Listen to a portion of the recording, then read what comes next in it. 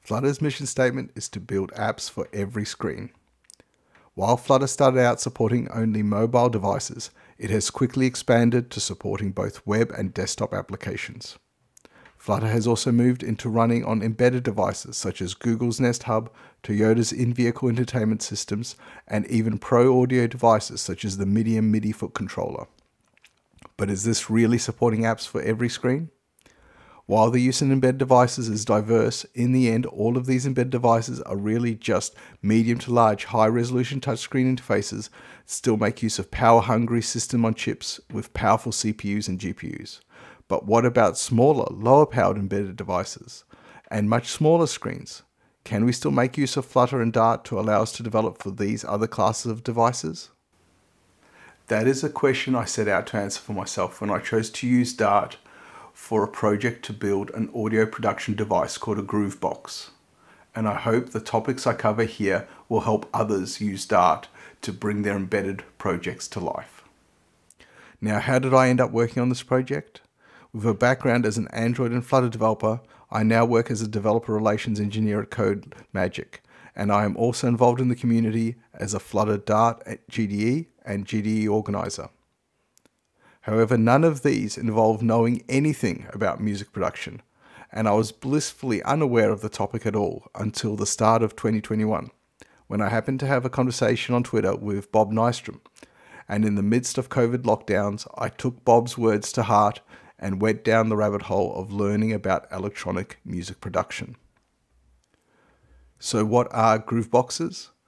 Groove boxes are a type of electronic musical instrument that typically combine a drum machine, a synthesizer and or a sampler and a sequencer in a single device. They are designed to allow users to create and manipulate electronic music quickly and easily, with some groove boxes including extra features such as mixers and effects processors making them versatile, powerful tools for music production. Because of this ease of use, a lot of electronic music producers and musicians use grooveboxes for dynamic live performances, such as the one we are now watching. Most grooveboxes also focus heavily on providing hardware controls, dials, buttons, pads and faders for controlling their functionality favouring a very hands-on tactile user interface instead of large screen UIs of mobile and desktop computers. Groove boxes mostly have small, low resolution screens, or very basic 7 segment LEDs, or even no screen at all.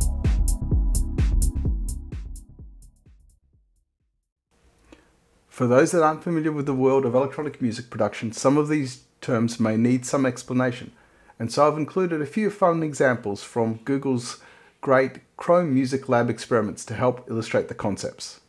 A synthesizer allows the user to play notes and melodies, as well as a variety of controls and parameters for adjusting the sound, with the sound often being generated as one of a combination of simple tones such as square, triangle and sine waves.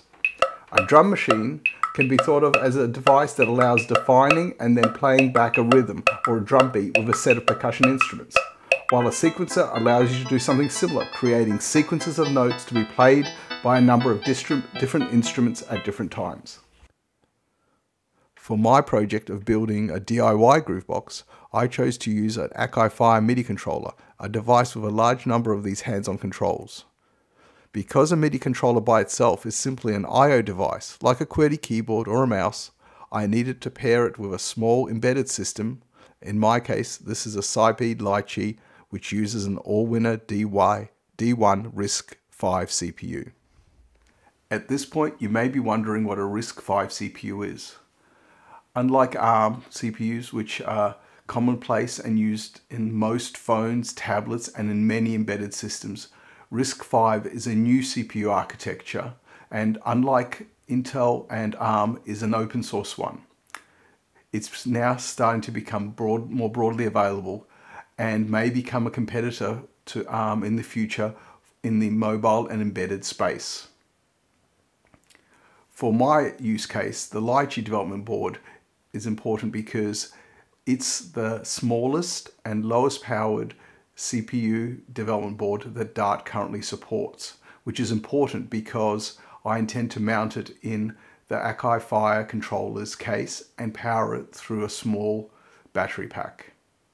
Dart support of RISC-V is however admittedly quite recent, having only been available starting from the Dart 2.17 release in May of 2022. Despite this though, installing and using Dart on a Lichee is similar to using a Raspberry Pi, which is a much more well-known embedded Linux development board. To use Dart on a Lichee, we first need to install Linux on the SD card, and then and there are already several Linux versions to choose from. And in the demonstrations here, I'm using a custom third-party Linux build. With that done, you need to set up Wi-Fi networking on the board and then download and install the Dart SDK zip file from the dart.dev website. I have previously written a blog post about how to get Dart installed on the Lichee, and a link to that will be included in the video description below. Now that we have Dart running on our development board, we can return to the issue of screens. Apart from its large number of RGB LED pads, buttons, and dials, the controller I'm using also includes a very small 0.96 inch monochrome OLED screen with a resolution of just 128 by 64 pixels. Now normally to use these little OLED screens you would use the I2C protocol and there are at least three Dart packages on pub.dev to choose from to make use of I2C. But in the case of this specific project, the Fire controller allows drawing to the screen via a MIDI specific extension and so for this, I can make use of the MIDI Dart package, which uses the Linux MIDI system interface via FFI. I also use the Dart Fire MIDI package that I created, which implements the custom MIDI commands required to interface with the OLED screen on the controller.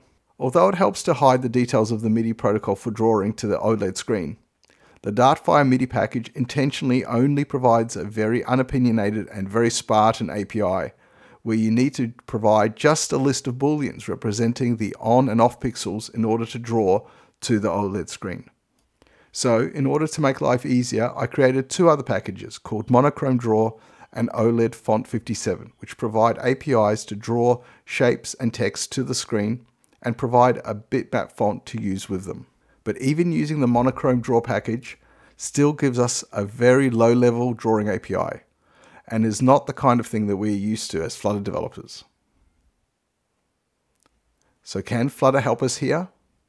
Well, we need to first remember that Flutter is meant for high resolution screens, driven by the GPUs which Skia, the graphics library used in Flutter expects to be available, and it uses three trees to optimize for performance in order to run smoothly at 60 frames per second. Now, does any of this make sense for our tiny 128 by 64 monochrome screen? Well, no, no it doesn't. And it's no surprise that Flutter does not work on tiny screens such as these.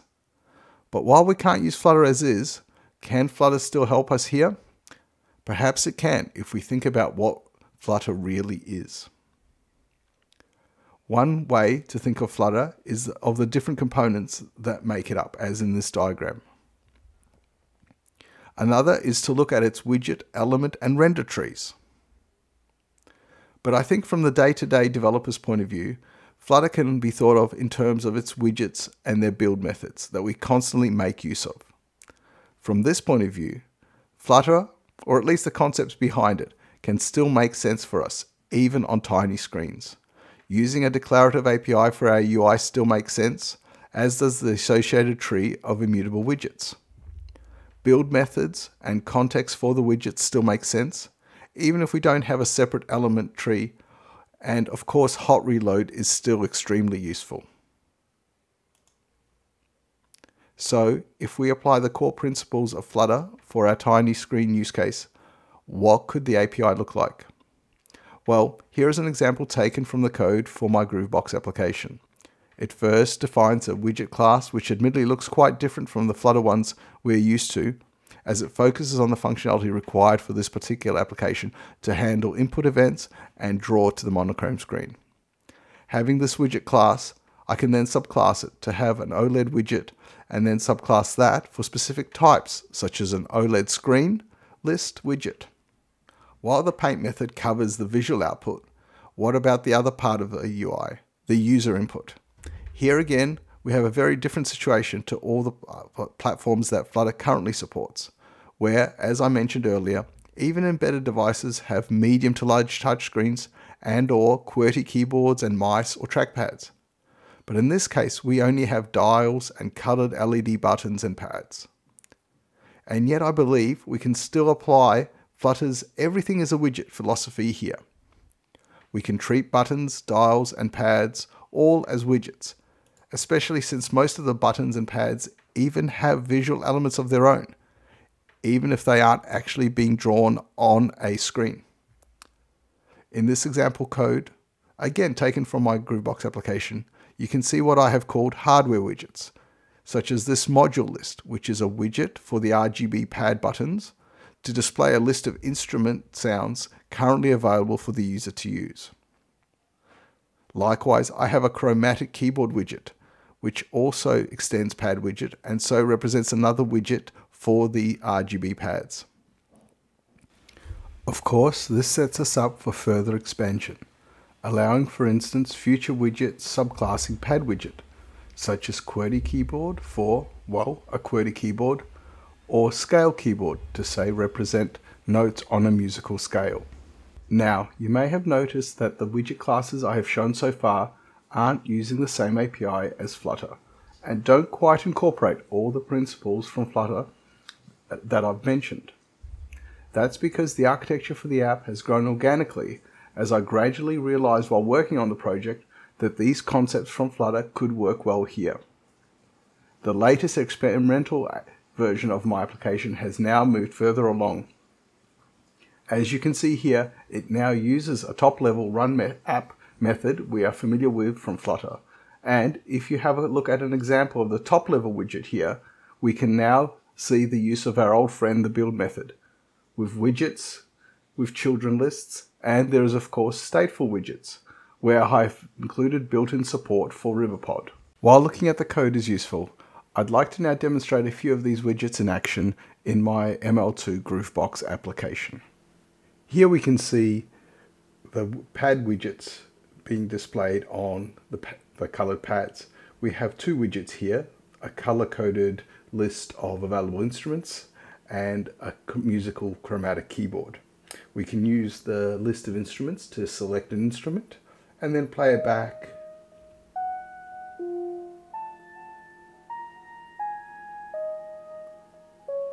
using the chromatic keyboard. We can uh, likewise switch to a different instrument such as the bass indicated on the with the OLED widget and play it back again using the chromatic keyboard. Here I've zoomed in the camera to better show you the OLED display. I can select a particular instrument by pressing one of the pads because we're, here we're in instrument mode. It shows us the name of the instrument. These dials then display the settings that each dial controls in order. So I can turn the dials to change the various settings that they represent. I can also page through different sets of settings and the dials then control those settings. I can also use the browse button to move into a different mode which selects a different instrument to assign to the pad and I can then scroll through and select from the list. So this is the list view widget allowing us to paginate through an arbitrary set of items and to, for instance, select a particular one. Given how new and forward-looking this is, especially the RISC-V support, it's to be expected that there are some issues and problems that I've come across that you should be aware of. Firstly, Dart support for RISC-V is only in the Dart dev channel for now, and there is no Flutter support for Linux on RISC-V, though there is an open issue for adding the support. Secondly, the D1 is a fairly slow CPU, so it is not really suited for on-device development, such as what you might do with a more capable embedded development board, such as the Raspberry Pi 3 or 4. This should not be an issue if we had Flutter remote development support the way Flutter supports Android and iOS devices, where your Dart code is compiled on your development machine and then pushed and with hot reload or hot restart onto your phone or tablet. Cross-compiling with just the Dart SDK could also help with this, but at the moment is not supported by Dart, though again there is an open issue in the Dart issue tracker for this.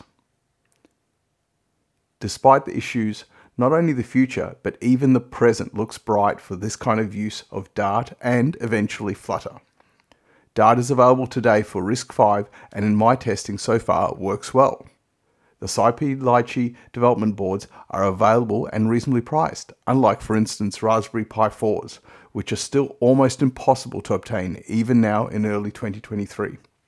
OS support is growing for RISC-V, and for instance Ubuntu now has official support for the Lichee board. Small standalone OLED screens, such as the one in the Fire controller, are very cheap and readily available on eBay and online electronic suppliers, and there is support in Dart package ecosystem to use these little screens. Overall, I found the combination of Dart and the embedded hardware I've shown here is ready today for hobbyist or prototyping use. So why not have a go and see what you can build with it. Finally, before I finish up, I want to thank Tiny Wires, aka Bob Nystrom from the Dart team for permission to use his wonderful piece, Neonate, and for getting me hooked on electronic music making. noopkat, aka Suze Hinton, an awesome developer and an old friend who created the original TypeScript modules that I ported to Dart to make my monochrome, draw, and OLED font 57 packages. Invisible Wrench, aka Morten Mortensen, the creator of the Medium Flutter-based MIDI controller, for adding the initial support for MIDI on Linux to his Flutter plugin. Andreas Jung for making available the custom Linux build for the Sipeed Lichee that I used. Night Radio, aka Alexander Zolotov, for the LibSunvox library I used for the ML2's audio engine. And finally, Paul Curtis from SEGGER for publishing a series of blog posts about his decoding of the Akai Fire MIDI implementation. You'll be able to find the slides with links to all the resources mentioned in this video in the description below. Thank you for watching.